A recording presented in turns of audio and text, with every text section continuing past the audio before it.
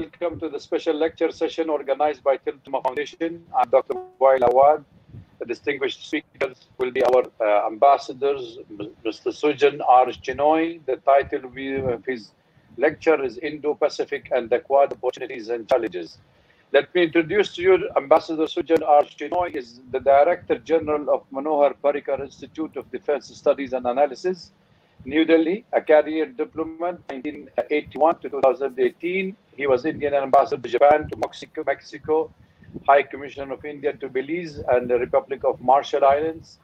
He's also been a, a specialist for the last two decades on in China. He headed Indian expert group, diplomatic and military officials dealing with boundaries, disputes, and confidence building measures. During his foreign service career, he was also a deputy chief of mission to, in Saudi Arabia and consul general in Shanghai and Sydney.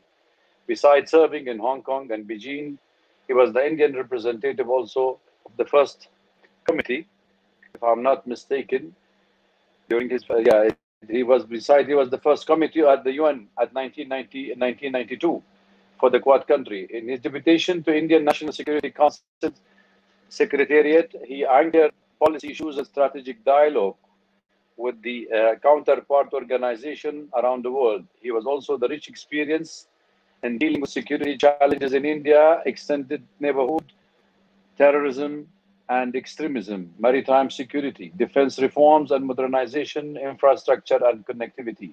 Ambassador Chinoy contributed extensively to newspaper and journals besides lecturing in India and overseas.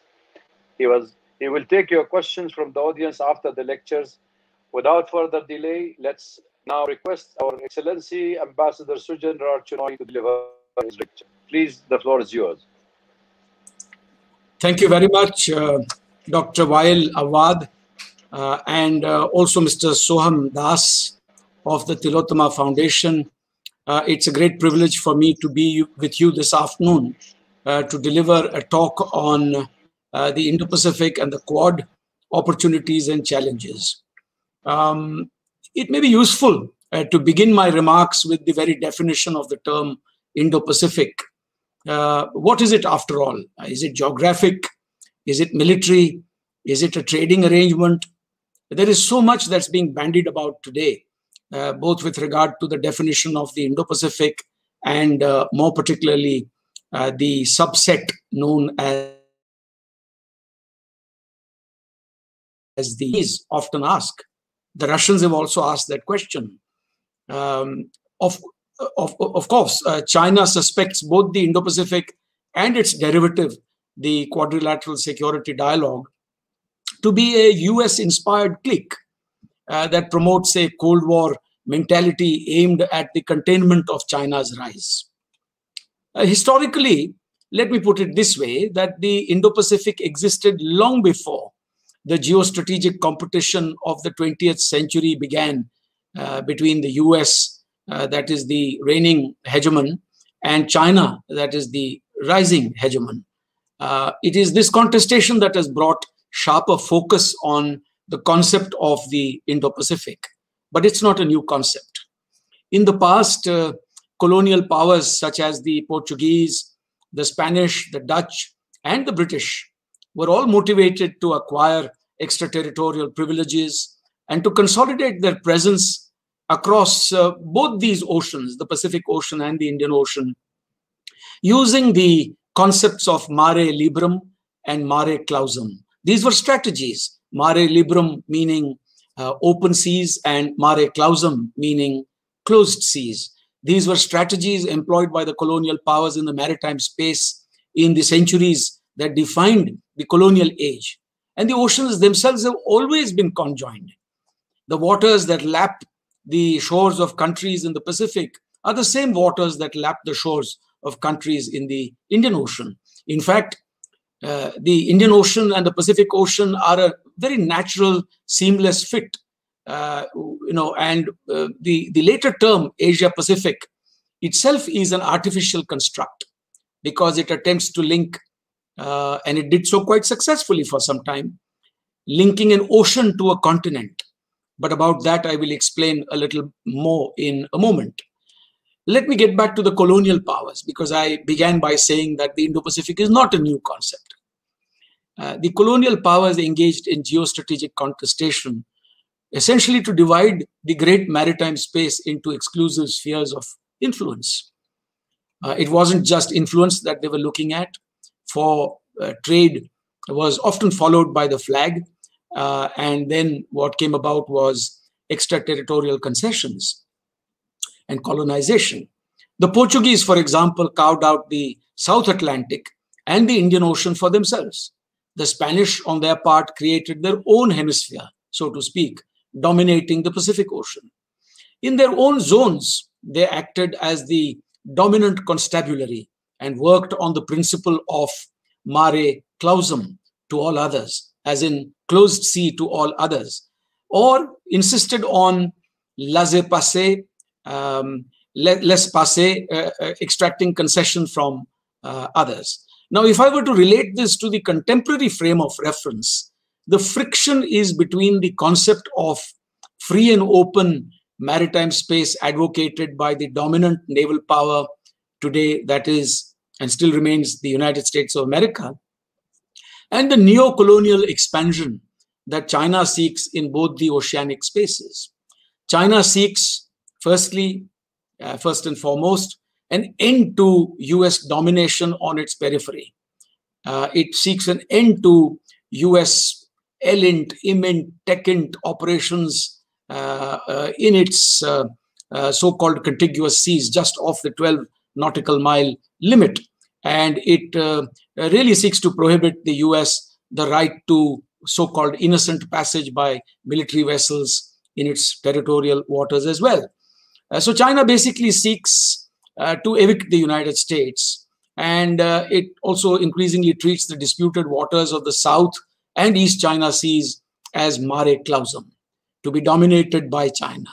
Both powers seek exceptionalism. There's no doubt about that.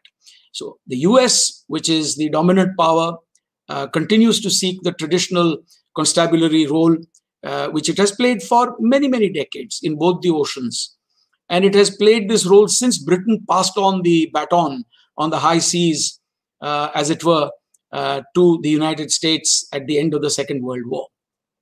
China, on its part, seeks a bailiwick for itself in its near oceans through what I might call arbitrary imposition of uh, uh air defense identification zone, uh, unilateral legislation, uh, claiming islands as part of sovereign territory, illegal conversion of uh, low tide rocks and sandbars into uh, militarized uh, islands, and so on and so forth.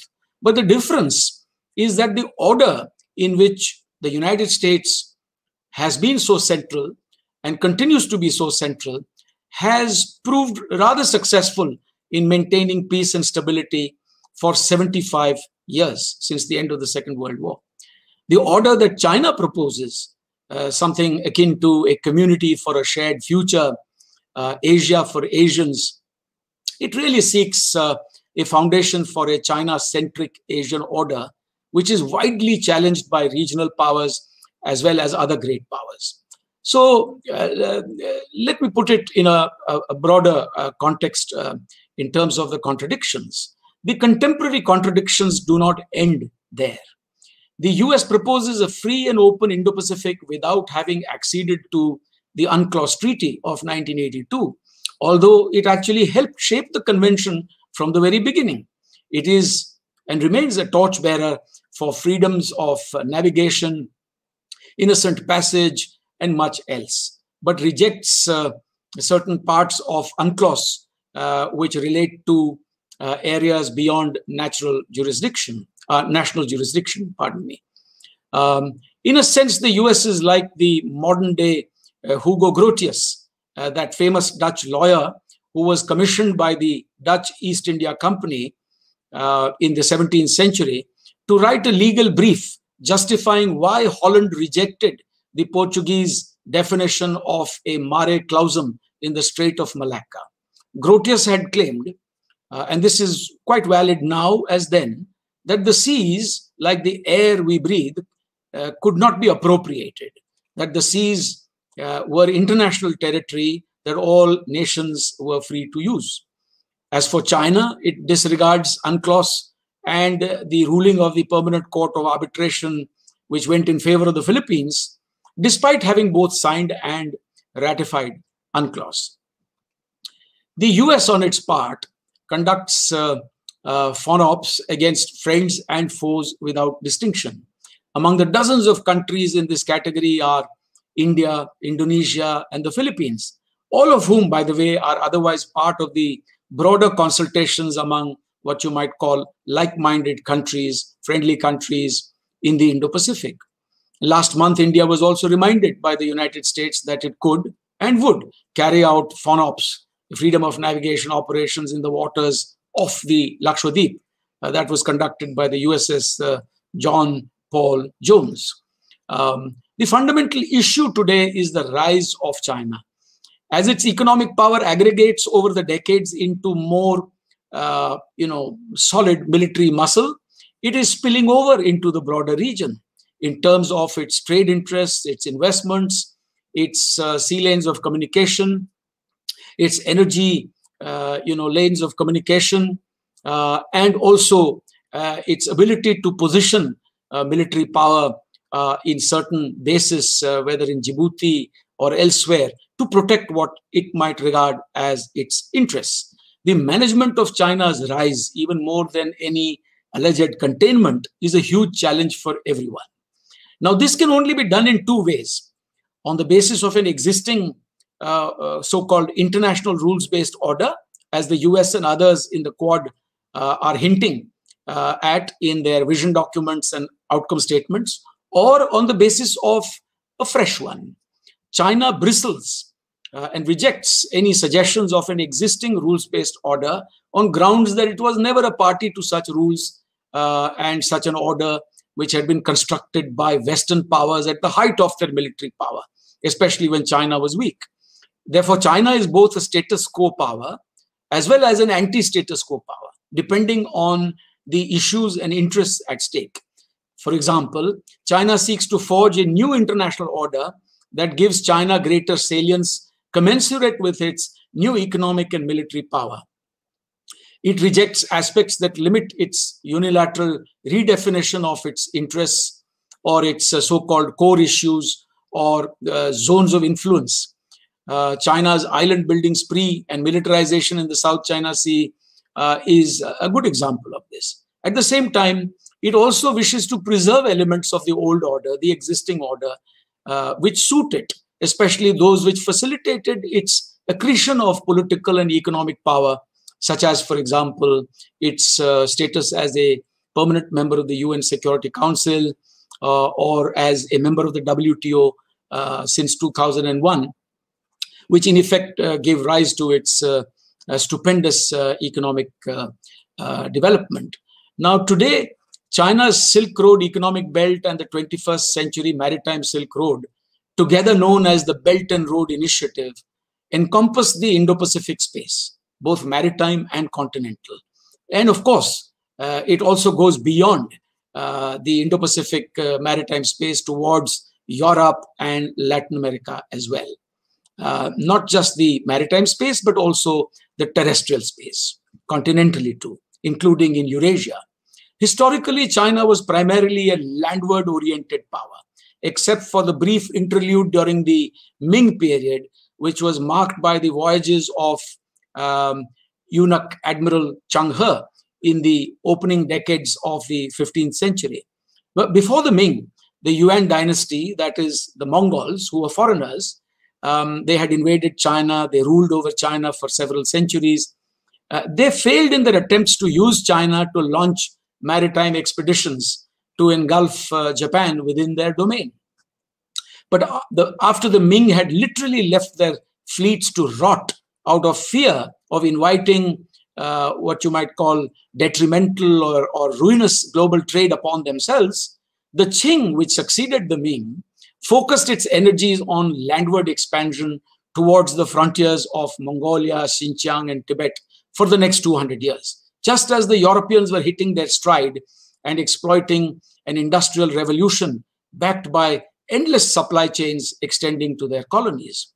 The Qing dynasty's limited experience with naval power soon resulted in a major land sea defeat, at the hands of the Japanese in 1895, resulting in the Treaty of Shimonoseki and the loss of Taiwan, Penghu, and the uh, Liaotung Peninsula. It also resulted in a loss of influence uh, in the Korean Peninsula that some might say continues till today. Uh, that is for China.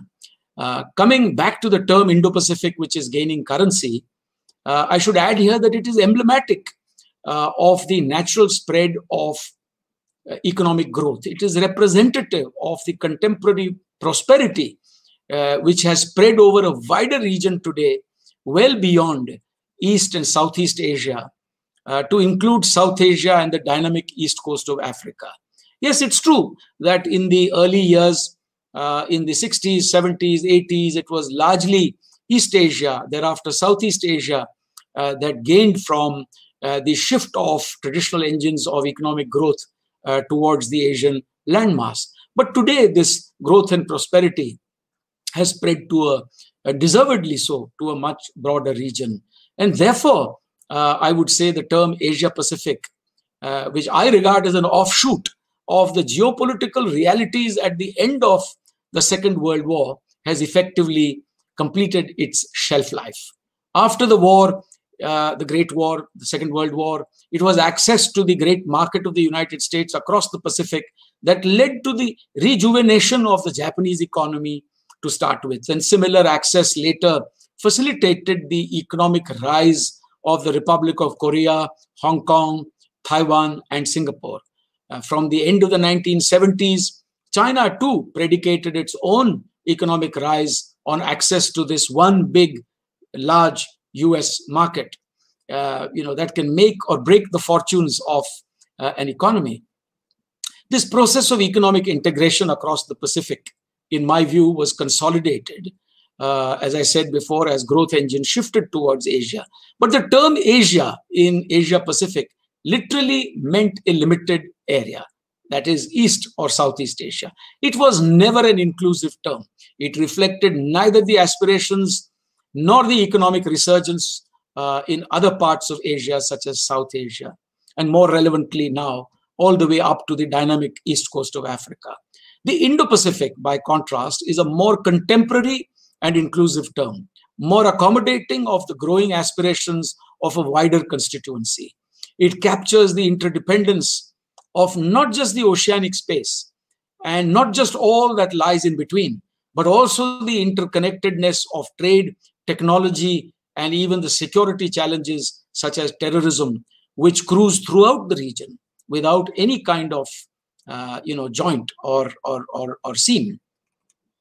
A fundamental fact of the last two decades is that an ambitious China has been virtually seeking the expulsion of the United States and other major powers from its periphery. I did uh, speak about this at the beginning of my talk, but this is a point that I need to emphasize. The US regards the US presence in the region as an impediment to its own coming in to power, coming of age, its uh, kind of domination of Asia. Now, this is ironic in a way because the US and other powers such as France and Britain have historically been part of the region with territorial possessions, nationals, and trade and security arrangements. Uh, moreover, the US has been a key factor in the region's uh, economic prosperity and stability after the end of uh, World War II, uh, balancing the adverse effects uh, uh, of the total absence of any organically evolved security architecture. The US pivot to Asia, which uh, President Obama spoke of in his second term, it was long in the making, uh, but short on delivery. It was diverted, that is, the United States' attention was diverted for over a decade by the international war on terror. And then it was licking its economic wounds uh, after the deleterious uh, global economic and financial crisis. Uh, so was uh, a large part of Europe. And so that lost opening decade of this century, in my view, is responsible for the subsequent disequilibrium that was created in Asia. Uh, in a sense, the US emphasis on the Indo Pacific is a kind of pivot uh, the re-emphasis that the United States has placed is a kind of pivot, uh, with multiple partnerships uh, being rejuvenated throughout the Indo-Pacific. Meanwhile, in the vacuum of that decade, the Chinese executed their own pivot, emerging unscathed from the economic crises that had bedeviled the rest of the world and confident just when the Western economies had taken a beating. So, in my view, the Quad is really an offshoot of the Indo Pacific, but it is still distinct in many ways. The Chinese see it for what it is. They regard it as an emerging grouping of countries, uh, a clique, as I uh, mentioned earlier, and that these are countries, uh, all of whom have uneasy relations with China, and which together can pose a potential threat or at least thwart China's spectrum of freedom of choices. The Quad has been derided by China, as you all know, for being an Asian NATO. Uh, but what is unique about the Quad? Let's go over that. Several things. Firstly, the Quad is a well defined grouping of four countries, unlike the broader, more diffused concept of the Indo Pacific. Neither of them have a geography, except that the Quad, because it comprises four countries, has a certain quasi geography to it, but it still straddles both the oceans. Secondly, the Quad's main focus is on currently on developing a habit of cooperation along many planks as a response to what is broadly deemed to be a common concern about China's rise, its economic and economic, uh, its military and economic influence, which is growing by the day. The discourse on China as a security concern, in my view, is therefore the binding glue.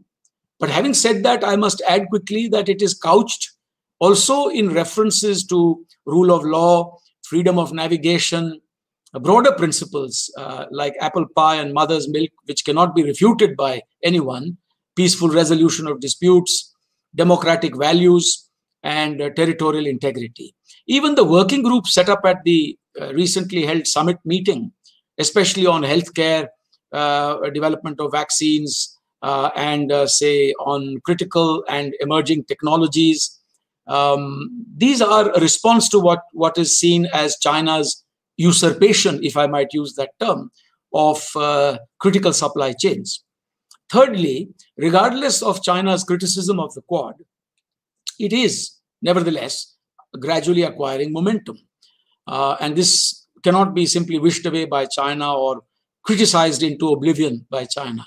In a span of less than two years, the Quad has been elevated from a uh, mid-level, official level dialogue, right all the way up to the summit level. The Quad cannot be easily expanded. There is talk of expanding it all the time, but it cannot be easily expanded. Nor is it necessary, in my view, to do so. The core of the Quad is likely to remain the four countries that is, US, Japan, India, and Australia. It is seeking to engage others in a Quad plus format. And we have seen that it has engaged Brazil, Israel, New Zealand, South Korea, and Vietnam. And more recently, France as well, in terms of uh, maritime exercises.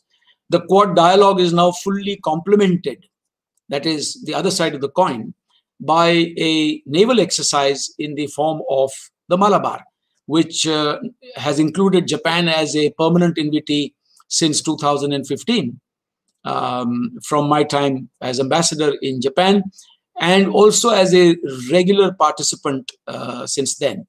And Australia too has been invited and joined the Malabar exercise in 2020 and presumably will remain uh, an invitee in the future as well. And all these countries have cross-servicing agreements uh, among themselves, logistics uh, exchange agreements. Uh, members of the Quad are also carrying out naval exercises with others in various you know, permutations and combinations, including uh, within that scope, Vietnam and the Philippines, and as I said, more recently, uh, France. Uh, the Quad members, you're all aware, uh, recently exercised with France in the Bay of Bengal before India engaged France in a bilateral exercise in the Arabian Sea. Now, the great powers, uh, are they external, re, extra, re, extraterritorial, extra-regional powers? uh, or are they very much a part of this region? And let me cover here some of the others, other than the United States, uh, which we know has several alliance partnerships and is intrinsically a part of the region uh, on every count for the last 70 years. But let's look at the others France, Britain, Germany, the Netherlands, and the EU, like the Quad countries and ASEAN, have developed their own Indo Pacific outlook and vision statements. France is a very potent power. It has territories in both the oceans and military deployment as well. The, France has about 7,000 military personnel uh, in both the oceans uh, in terms of uh, stationing at its various uh, uh, you know, colonies and territories. Um, Britain also has seven military bases uh, between the two oceans. Unlike Britain, which works, in my view, more in tandem with the United States, France occasionally tends to plow an independent furrow.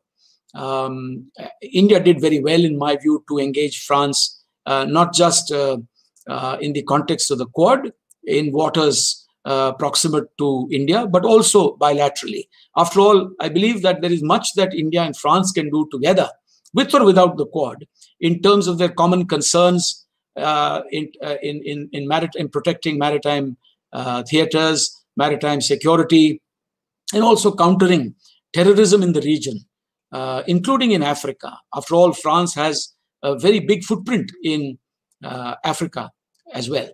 Uh, Germany, the Netherlands, and the EU have all pegged their Indo Pacific vision statements on ensuring stability for sustaining their economic and commercial interests in the region.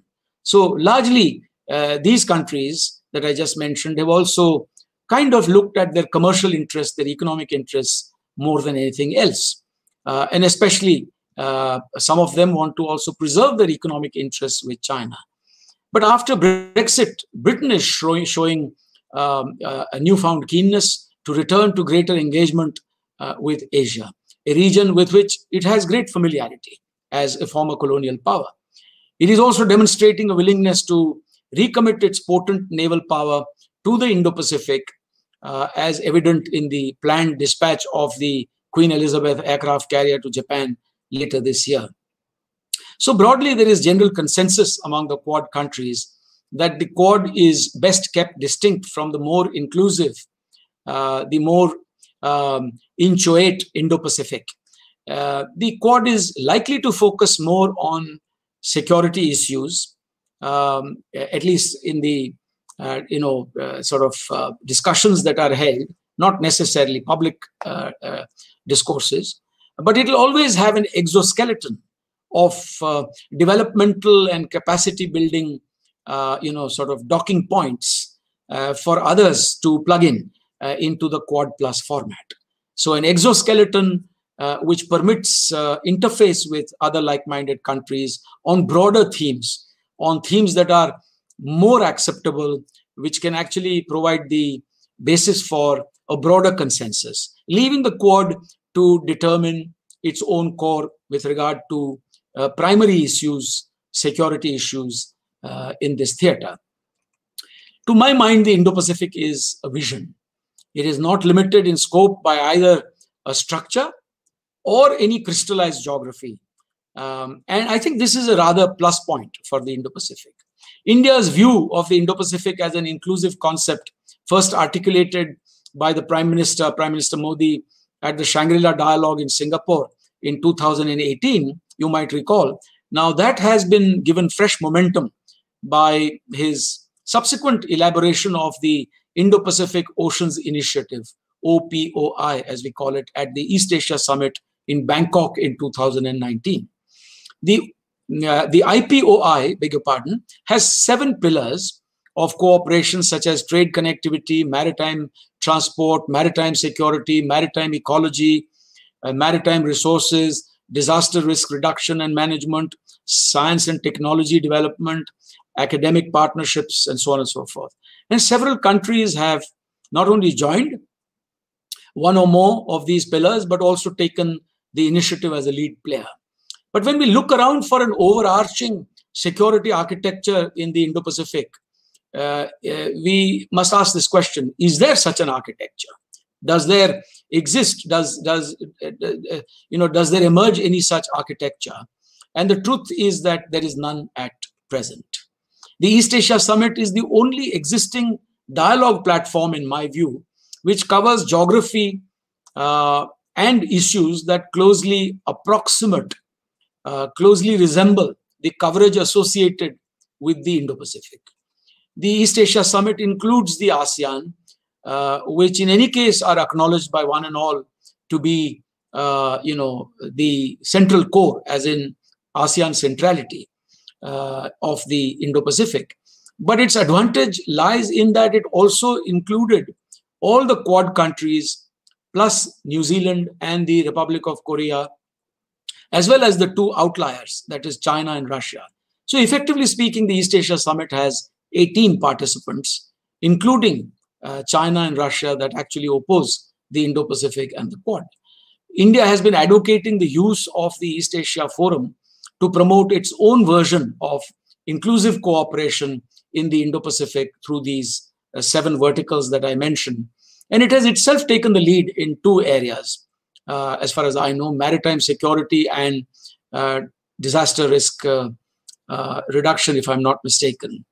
Um, now, uh, China and Russia, in my view, will not permit any East Asia summit outcome document to legitimize the term Indo-Pacific. So in a sense, uh, trying to morph the East Asia Summit to become, uh, you know, a structure to promote the Indo-Pacific is, uh, uh to my mind, a non-starter.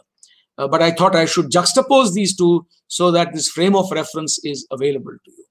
The Quad leaders' joint uh, statement titled The Spirit of the Quad, you might recall, not only speaks of ASEAN centrality, but also its unity. Now, this is in recognition of the fact that ASEAN, that is to say, reference to unity, is in recognition of the fact that ASEAN is hopelessly fractured, with the CLM countries, that is Cambodia, Laos, Myanmar, and perhaps some might say Thailand too, in the Chinese fold, within the Chinese fold, increasingly so as vulnerable dependencies. There is also a reference to uh, democratic values, uh, you know, in that uh, summit statement, which may be important, especially to the Democrats in the White House. But to my mind, it doesn't help with potential partners in the Indo-Pacific, such as Vietnam, whose political and economic system is more similar to uh, that of China uh, uh, or that of the Philippines, and that they cannot truly be held to the benchmark of uh, you know possessing these democratic values. So does that then automatically rule them out? Does it limit the scope of their involvement? These are questions that i would readily ask. Um, in my view as such even asean centrality is a double-edged sword given china's growing influence over the group now china would see advantage in my view uh, uh, for it is the only one involved in negotiating the code of conduct it's an elusive code of conduct that has taken the last 20 odd years since 2002 uh, to, you know, to, to even bring to the stage. And uh, there is very little likelihood that it can be completed uh, in terms of negotiations by 2022, which was some kind of a date that had been set. And since China is the only big power involved in the code of conduct, and since the code of conduct and whatever comes out of it is going to affect the rest of us, uh, one can say that China has the advantage in regard to this so-called ASEAN centrality. Now, as I mentioned before, for China, the Indo-Pacific and the Quad represent uh, Cold War mentality and cliques. And I'm going to end on this kind of a note here. Um, uh, I'll simply try to bring out a, a few more nuances, maybe another two minutes or so. China remains greatly suspicious of both the Indo-Pacific and the Quad. This is what I started out with. The Asia Pacific frame of reference is what keeps China front and center. And so China would like to continue to use the word Asia Pacific, which, as I explained to you in, in quite some detail, is an archaic term now, no longer representative of contemporary reality. China, therefore, regards the Indo Pacific as a framework which reduces its salience, hence the opposition. China maintains that regional groupings should be inclusive and should contribute to stability in the region.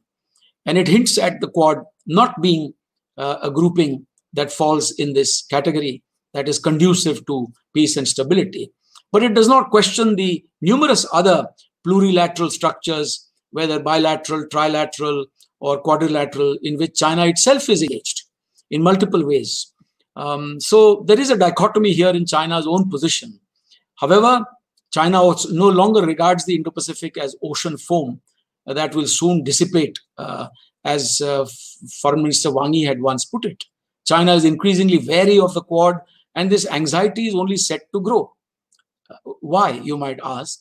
And I think the answer lies in the fact that, contrary to expectations, uh, that China and the United States will have possibly better relations uh, when a new uh, you know, administration comes in, um, these hopes have been belied. The recent talks between the Biden administration and China in uh, Anchorage in Alaska went off rather badly. But this was, in my view, entirely expected, given that President Biden and his team have accepted, in some measure, the Trump legacy uh, on these issues at least. And they equally regard China as a strategic adversary. So the die is cast there. President Biden has said so. He has said that the United States is determined to maintain a strong military presence in the Indo Pacific to prevent conflict, not to generate conflict, but to prevent conflict. His call for a thorough investigation into the origins of the coronavirus, though unrelated to the Quad, is no doubt going to fuel greater suspicion on China's part as to the objectives of the United States of America. China may have uh, hoped for better relations, but looking to the speed with which relations with the United States have fallen into the same adversarial groove uh, as they existed during the Trump administration, I would say that the scenario is not very optimistic. But let me add uh, a word of caution here. For India to take vicarious solace from the lack of trust in US China relations would be self limiting uh, in a way. While the Quad may help India obtain better intelligence and even military technologies uh, by building better uh, you know, confidence uh, with these fellow uh, partners in the Quad, perhaps even get moral support for our narratives on several issues. India will still have to deal with challenges on its land borders on its own. There is no one who is going to come and do that heavy lifting for us as we deal with our primary challenges, and that relates to our continental, uh, you know, borders. India will have to also focus primarily uh, on its own region, uh, including in the maritime theater of the Indian Ocean. Uh, why so? Uh, particularly because uh, limited resources will have to be taken into account and also the fact that India has relatively limited stakes in the South China Sea and the Pacific Ocean as uh, compared to its stakes in the Indian Ocean. So it's a relative comparison that I'm making. And so, therefore, these factors will also shape India's role uh, and uh, outlook uh, towards the future within the Quad. The other great factor, and on this note, I will truly end here, is China's own behavior. Now, China's behavior, uh, its uh, aggressive, uh, you know, behavior, its uh, militarization, its uh, you know bullying tactics, etc. Now, all these, as they uh, you know telescope into the future and acquire even greater proportion and agency, you know, these definitely have the potential to flip the quad over into more overt uh, military cooperation in the future. So, in a sense, therefore, uh, it is China that is going to determine, to my mind, uh, the future of the Quad. Uh, with these words, I would like to stop here. And uh, I have taken all of 39 minutes. I was told I could go up to 40, but I have stopped break just in time so that there are, you know, say 20 minutes or so for interaction I'm grateful to you all for having listened to me uh, with such great patience. But I thought I should share my views with you uh, with regard to both the Quad and more particularly the broader frame of the Indo-Pacific. Thank you. Thank you very much. Uh, thank you very much, uh, Ambassador Sujan R. Chinoy, uh, for your lecture on Indo-Pacific and the Quad opportunities and challenges. Uh, I want to personally thank you for your lecture. And uh, I think it's a pleasure to have you on our platform and also the detailed uh, treatment of the subject on Indo-Pacific and the Quad, which is very important in this present geopolitical environment. let me just take some questions. So I think we have with us Ms. Tanisha Acharya, research intern at uh, Foundation. I think uh, she would like to ask you some questions. Over to you, Tanisha. Good evening, sir. Uh, I just had this question that can the Quad as such be used as a potential platform by India uh, to push in for greater reforms in the United Nations? My short answer is no, because uh, uh, you know UN reforms uh, is a very complex matter that involves uh, more than 190 countries uh, a very different kind of consensus has to be developed there. Uh, it involves uh, a very large number of uh, countries that uh, have absolutely no interest in the Indo-Pacific or the Quad, uh, and therefore the short answer is no. in any case, UN reforms cannot be carried out, at least the more relevant ones from our point of view, including reform and expansion of the UN Security Council, uh, these cannot be carried out unless a sui generis uh, consensus is developed uh, among the permanent members of the UN Security Council. Uh, and you are aware of the fact that, you know, the Quad uh, does not include, you know, Britain, though you might argue that Britain being used to working in tandem with the United States will take its cues from the US. But certainly you are aware of the fact that neither China nor uh, Russia, Russia, for that matter, France, uh, are part of the Quad. So, short answer is no. Dr. Awad. Yes, uh, Ambassador, there are certain issues I would like to highlight because a couple of questions we had. But taking the COVID-19 uh, pandemic in the region and the Chinese encroachment into neighboring country of India, do you see the Quad is a necessity now to counter or balance the the uh, power in Asia, including India, that also a security concern? Look, you mentioned uh, the pandemic, so therefore I uh, would assume that you are also referring to the opportunities and challenges in that context. Now, uh, you know, India and China are among uh, the countries that are known to be large uh, producers of uh, uh, you know vaccines, and it's true that China has also reached out to a number of countries, including in South Asia, in terms of what you might call its vaccine diplomacy. I think the primary focus of the global community today is on protecting human lives everywhere. And therefore, I do not think we should diminish the importance of saving human lives, regardless of whose vaccine is being used. Uh, but uh, I should say that the Quad is certainly looking at broader issues such as uh, the integrity of supply chains. and this is a discourse that began before the pandemic struck. I think it's a discourse that began in light of the broader uh, challenge that was already being faced in the context of the US China trade war that we had seen for a couple of years uh, under President Trump, even before the pandemic struck.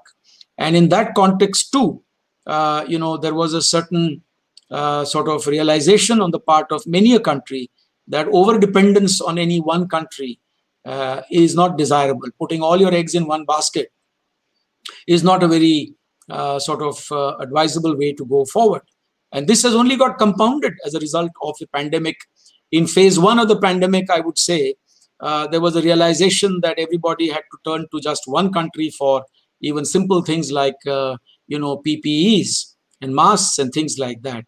And uh, later in phase two, when China has relatively recovered from the pandemic and the others are still in the process of uh, kickstarting their economies and some are still reeling uh, under the impact of the second wave, uh, there is a growing realization that even for kickstarting economies, the supply chains are still, uh, you know, relatively concentrated in China. Um, uh, because everywhere else the economy shut down, everywhere else the supply chains were disrupted, but China had an early start.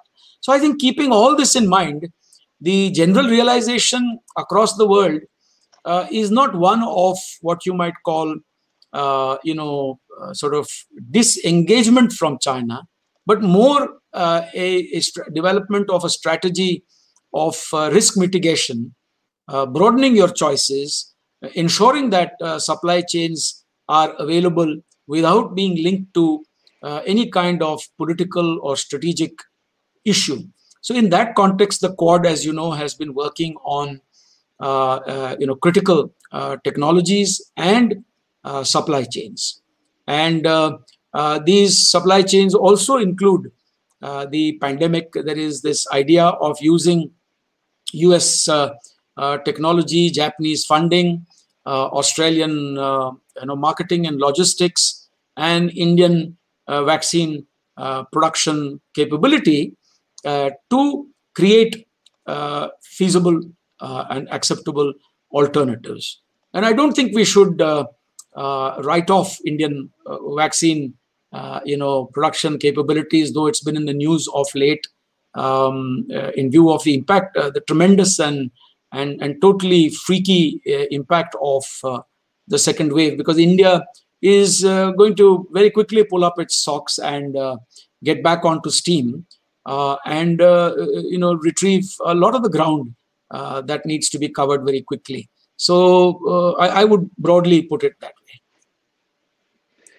I, I just need an additional question on this because uh, you are being diplomat in your answer. I mean, you are very, still uh, running the career diplomat. I need you from the strategic defense analysis you're running. Like Chinese policy of recently become India-centric after the Himalayas crisis. And even India, see itself, the security concern is so much so happening. I just wanted to see, do you see yourself, because people saying that India is now in the American camps with the Quad against China, while China doing a low profile policy toward India in a different direction. As a strategist, how do you see this kind of, you know, a new scenario going to see between the two countries? At the end of the day, the, the Asian century is led by both giants of Asia. How do you see that? Uh, you raised a, a, valid point, but I think uh, that it is unfair to refer to India as being in anyone's camp. India is too big a country uh, and, and too big a population, and um, uh, uh, you know, uh, with with too powerful a history in anyone's camp. Uh, uh, you know, whether the US or, or, or, or, or anyone else. Uh, so we have to keep this in mind. The, the problem here is that it's not India which looks at it this way, but there is a tendency on China's part to, you know, create a zero-sum game here with third country considerations in mind. Now, uh, this I think is a bit unfair on China's part because China is a country that has used um, external balancing for a very long part of the existence of the People's Republic of China. Uh, you may kindly recall that in 1950, soon after the founding of the People's Republic of China, China very quickly had a treaty with uh, the Soviet Union, and it was a security treaty. Uh, and having said that, Uh, you know, uh, they of course went into a decade of uh, fairly uneasy relations, more to do with personality clashes, more to do with, uh, uh, you know, uh, leadership of the, uh, you know, international communist movement and the ideological clashes that erupted, particularly after Stalin, when Khrushchev was promoting a uh, a, a, theory of uh, you know peaceful coexistence also with the United States. And of course, there was a complete break between the Chinese and the Soviet Union. Uh, but China also went on to further external balancing in 1971-72 when the Great Rapprochement with the United States was carried out rather successfully, uh, brokered by uh, Henry Kissinger and uh, resulting in the visit of, of President Nixon in 1972. And China has used external balancing in South Asia to the brim, so to speak, in regard to its dealings with India. So, if there is anything India-centric, it is, you know, not from our viewpoint. It's really the viewpoint that China has, which is that, you know, if India comes closer to the United States, it is uh, uh, definitely uh, detrimental to Chinese interests. And that's why I began by posing this big question that is it fair for a country that used external balancing for the last 70 years to be questioning the multi alignment strategy that India's strategic autonomy permits and had permitted in the past as well? Is it possible or feasible or justified for them to question this? Uh, so I, I, would leave it at that. And don't forget that India had non-alignment in the 1950s, and yet it did not prevent India from, uh, when the time came, from reaching out to the US and uh, Britain for some military assistance also in 1962, although that help uh, was limited and some of it came Uh, a little too late. Uh, by then, the you know uh, the 62 conflict had died down, uh, and it did not prevent India from uh, you know signing and concluding a treaty of you know friendship and cooperation with the Soviet Union in 1971. so, and today too, India has this policy of multi-alignment. So our multi-alignment is something that permits us to work with every conceivable partner on issues of mutual interest. And we can do so while maintaining and preserving our strategic autonomy. Strategic autonomy offers India a spectrum of choices. And I would say the Chinese have done that uh, with great finesse over the last 70 years. So we are in nobody's camp. Uh, we are unlikely to be in anyone's camp. Uh, and, um, uh, you know, one should keep that in mind and you've been a long time resident of uh, India. You know India well. And uh, I'm sure you will vouch for uh, what I say. Thank you. Thank you. Um, yeah, I go back to you, Soham. I'll come back to Ambassador. Please, Soham. Thank you. Thank you. Uh, so I think, uh, you know, uh, Ms. Acharya, if you want to ask your short second question, then I'll pose another question. Thank you, sir. Uh, so I had this question: How uh, in, uh, you talked about uh, uh, France, and how can India assure its autonomy, even as it agrees to uh, get into greater alliances, greater alliance with relatively powerful nations like France? I think you have used an inappropriate term here because you're using a term which is potent with meaning you know, uh, you use the term alliance. Now, India has no alliance partnerships with any country, and uh, the least of all with France. Uh, when you look at the scorecard uh, over the last few years, you will find that uh, we have ramped up our relations with Japan. We are cooperating for the first time in the defense field.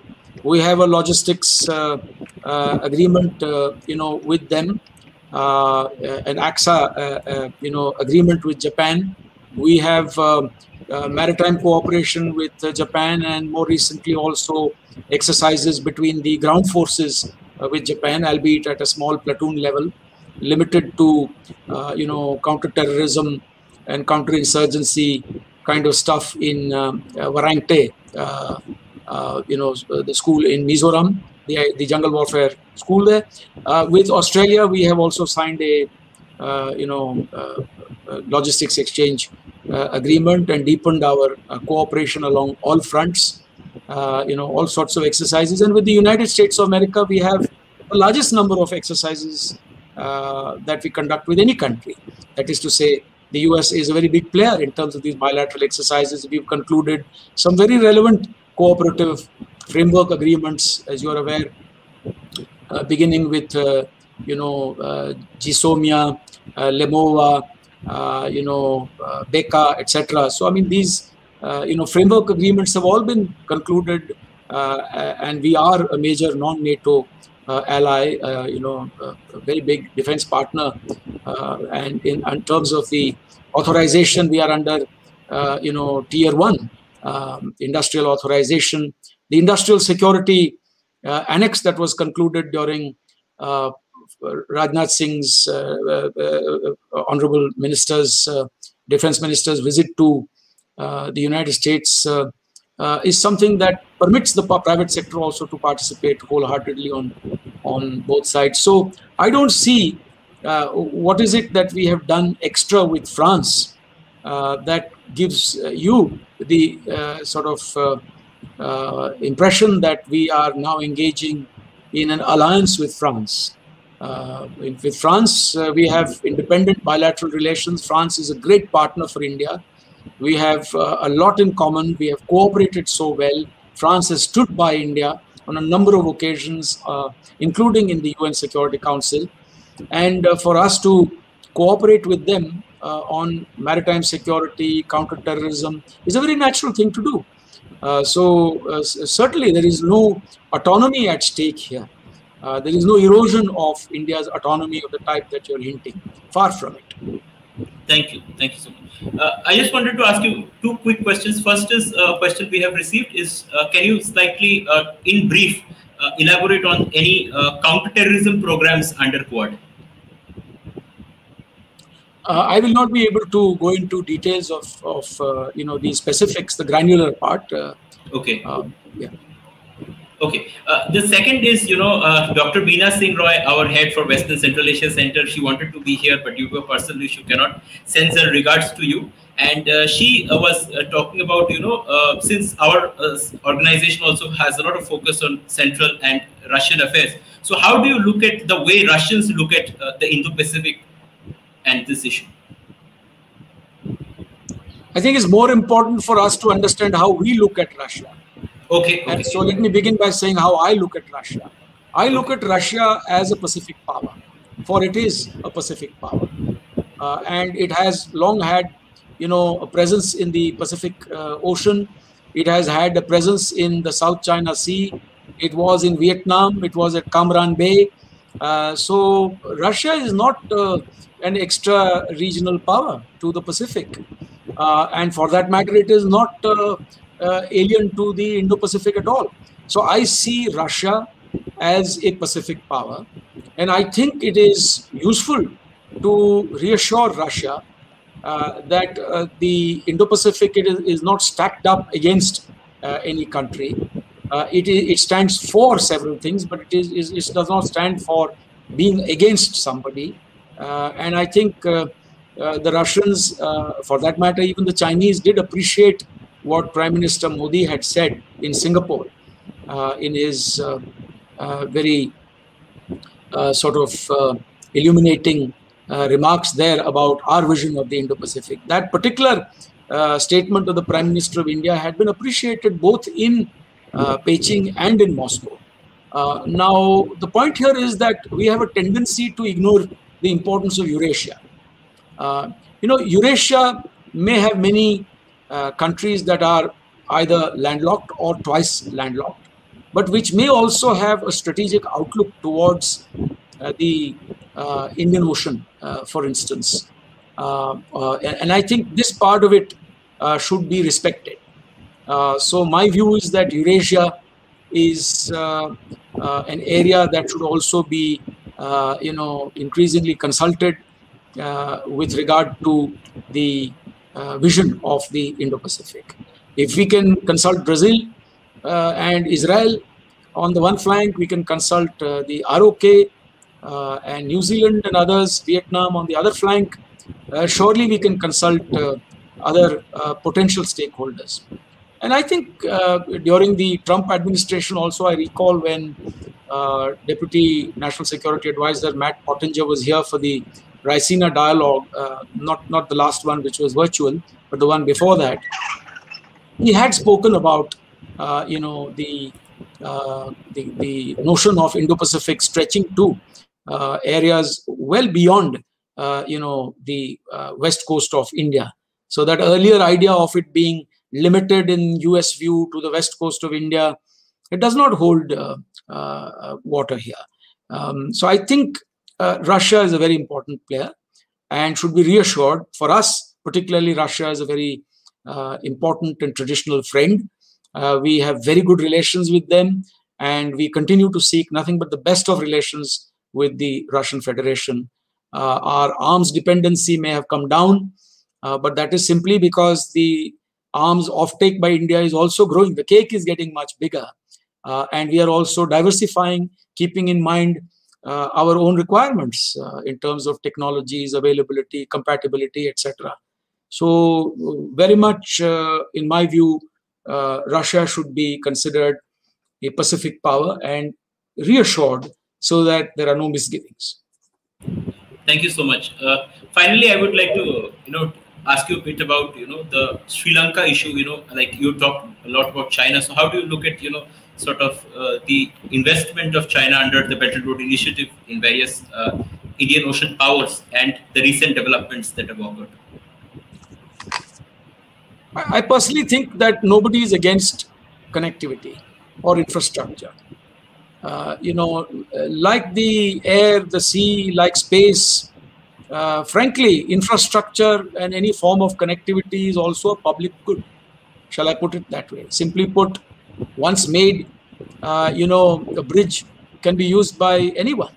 A road can be traversed on by anyone. So, as such, nobody is against connectivity. Uh, connectivity is very important, and I think, uh, particularly particularly in Asia, there's been a dearth of uh, you know resources available for the vastness of uh, you know the the needs that need to be uh, met in the next few years. People are talking about Uh, you know uh, uh, a trillion dollars worth of you know resources required to meet Asia's infrastructure you know needs. So this is something that again is unobjectionable. But the manner in which uh, infrastructure is carried out, and more particularly if it is done through non-transparent means without offering a full spectrum of, you know, uh, open choices, without, uh, you know, the long-term insidious, uh, usurious uh, clauses uh, being, you know, brought up up front and made visible you know, this can result in relationships of dependency. And this is, I think, something that a, a, very large number of countries would object to, where the receiving country, the host country, finds that it is unable to repay loans uh, uh because of insidious and usurious, uh, you know, terms that have been, you know, embedded in such agreements. And this results in any kind of erosion of sovereignty then I think such connectivity and such infrastructure projects are bad. Uh, they are not recommended. Uh, also, that uh, infrastructure projects should be carried out based on the priorities of the host country, not, not on the priorities of a lending country. So, uh, effectively, even uh, uh, we have seen that there is some criticism coming out of Pakistan itself about the priorities uh, in the China-Pakistan Economic Corridor, which is a part of the, BRI.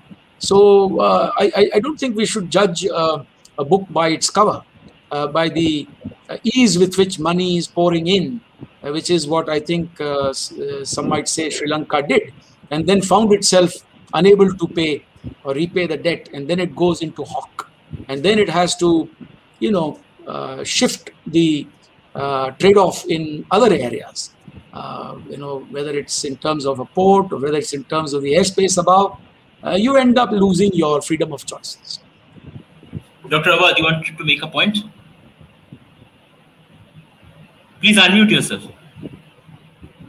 Please unmute yourself. Ambassador, I just have, a, yes, I actually, I just have a question here. You spoke of uh, Russia and you spoke of China do you see India is um, uh, how does India assist the China US rivalry, especially in the trades and in the Asia Pacific maritime security and freedom of of uh, mailing or sailing in the maritime in the Asia could you, could you, please repeat your question? Yeah, what he meant was that about the China. Yeah, yeah. India as yeah, what is India assessment of the US China rivalry and its impact on the security in Asia Pacific, especially when US talks about the freedom of uh, navigation? Well, I can only speak on behalf of myself, not on behalf of India. uh, because there are a number of opinions in India. I'm talking in terms of the Quad. Yes. So my own view I can share with you uh, that, uh, and I th- thought I had covered a large part of that in my presentation. That uh, in my view, uh, you know, China regards the U.S. as limiting its, uh, uh, you know, choices uh, uh, in terms of its newfound economic and military power, uh, and China seeks uh, to uh, limit the extent to which the United States can exercise its power, uh, especially on China's periphery and on issues that are uh, considered core issues by China. And China would like to see the back of the United States of America in terms of its presence in the uh, broad theater uh, of uh, Asia or the Indo-Pacific, or more particularly, uh, you know, the South China Sea uh, and the Pacific. And this is not going to happen for the simple reason that uh, it's not just that the United States continues to be a very potent power, but that it has a long history of having been uh, as much part of this region as anybody else over the last 70 years in terms of its humongous trade flows, its investment flows, and its varied, uh, you know, alliance partnerships and treaties, physical presence, etc. So it's a pipe dream to imagine that uh, because you don't like a country, that you can suggest that they should leave and that they will simply leave. Uh, in fact, a very large number of countries consider the US presence in this part of the world as a stabilizing force. And the retreat of the United States would be seen by many as a force that, uh, upon retreat, you know, leaves behind in its wake a trail of disequilib- disequilibrium. Uh, so, therefore, uh, I think, as I see it into the future, with the action, economic, military, etc., having shifted uh, towards the Indo-Pacific uh, in more ways than was uh, the case in the past, we will see greater friction in years to come. Uh, and at this stage, neither side seems to be backing down, and um, there are a few clear-cut hotspots that have already emerged. We can see how friction uh, uh, is felt uh, in the Taiwan Strait, where the United States continues to uh, task its warships to sail down the Taiwan Strait in a demonstration of its, you know, right to freedom of navigation, overflight, etc. Uh, we have seen that uh, it conducts these uh, freedom of navigation operations, does not accept the artificial baselines and uh, extended EEZ that the Chinese claim after having uh, made uh, rocky outcrops into so-called islands and then uh, you know stretching claims with regard to the EEZ. Uh, the US does not accept the absolute baselines that uh, China seeks to claim for islands in the South China Sea, which are not entitled to archipelagic baselines, uh, and therefore the US does not accept the you know notion of the South China Sea uh, evolving into some kind of a sovereign Chinese lake where everybody must, you know, seek permission to enter and inform the Ch- Chinese in advance. Nobody really accepts that. So this is bound to result in uh, some kind of contestation. Uh, and to add to that, we will have uh, the economic tensions also continue. Uh, so I, I think that the, the situation will be more complex and fraught as uh, as the decade uh, evolves. Uh, and uh, I think it really calls for much greater consultations uh, and uh, uh, much greater effort to see what kind of an overarching security architecture can be put in place to prevent conflict. Nobody really wants conflict. Conflict is not in the interest of this part of the world. It has many pending, you know, intractable issues uh, and disputes, uh, despite the fact that civilizationally there is so much in common in this part of Asia. Uh, and in terms of economic progress, this part of the world has, you know, Asia, home to 60% of the global population, has actually done well for itself. Not just China, not just Japan, but even others like the Philippines, Indonesia, India, Bangladesh, uh, more particularly before the pandemic struck, have been doing well for themselves. Uh, but is there a matching security architecture available to us? Uh, is it available in certain parts? Is it something that can be stretched to the rest of uh, this region? These are all moot questions. And for the foreseeable future, I think there will be greater contestation in the Indo-Pacific over these concepts of even freedom of navigation over flight, uh, because UNCLOS is also interpreted differently by different people. Uh, the you know right of innocent passage is there uh, for warships, not for commercial interests um, in territorial waters, um, and the United States uh, uh, enforces that right in terms of international law.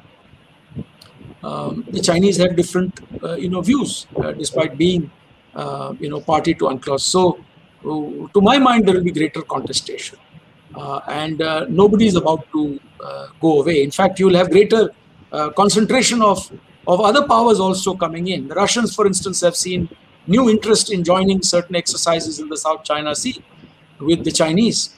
In the Indian Ocean, they have engaged in exercises about a year ago with uh, you know, Iran uh, and uh, Russia. Russia, China, Iran have exercised in the Indian Ocean. Russia, um, China, and uh, South Africa have exercised together in a trilateral. We will see more of this happening.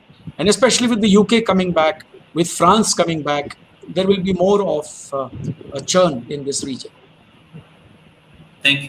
Thank you very much. Thank you. I think uh, we have uh, come to the end of this session, and I thank everyone for being a part of this special lecture on Indo-Pacific and the Quad opportunities and challenges by Ambassador Sujan R. Chinoy, Director General MP-IDSA and former Indian Ambassador to Japan, organized by Tillotoma Foundation. I thank uh, Ambassador Chinoy for his presence, and we hope to, uh, you know, have further collaborations with the Institute of Defense Studies and Analysis in areas of common interests.